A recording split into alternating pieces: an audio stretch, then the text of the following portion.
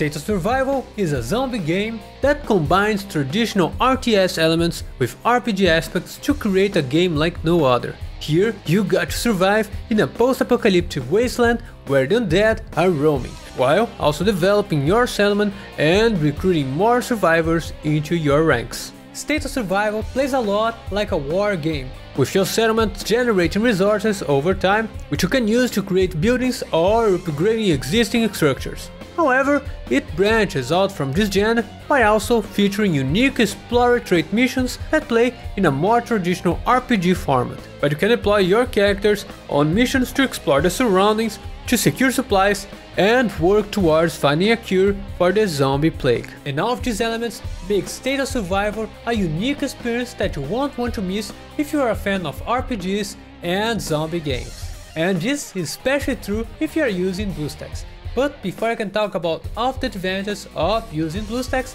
let's first take a look on how to actually download and install the game. To download and install State of Survival, firstly head out to the BlueStacks official website and download and install BlueStacks 5. Once installation is finished, open the Play Store and then search for State of Survival here on the search bar. Now click on install State of Survival from the search results and install it, just like you would on your regular phone. Once installation is finished, the icon will appear here on the home screen. Just click on it and start playing. But now that we got this out of the way, let's take a look on all of the benefits of playing with BlueStacks.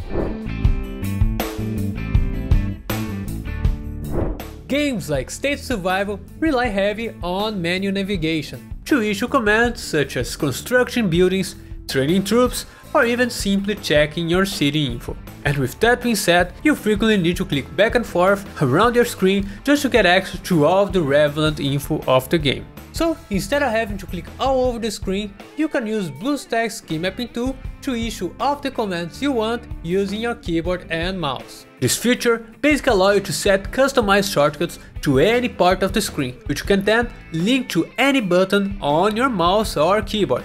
And every time you press a specific key, BlueStacks will automatically simulate a tap on the corresponding area of the screen simplifying quite a lot the whole process of navigating throughout all the menus. And the best part is that BlueStacks already comes with a basic control scheme for State of Survival, so you don't even need to set up anything.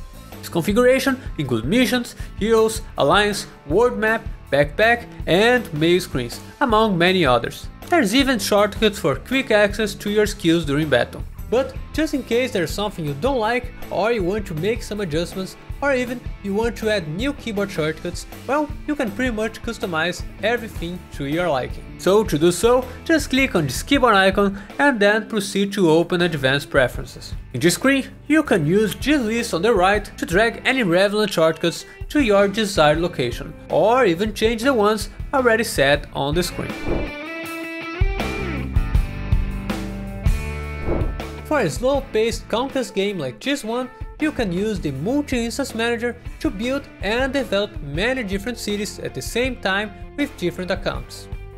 The slow and strategic design of the game means that you will never have to complete any action segment other than a single player missions, that you can take your time and issue commands in multiple cities without losing a bit. Using this instance manager only requires you to click this little icon here on the right panel to access this menu. And here you can create as many instances as you like and then run off them at the same time.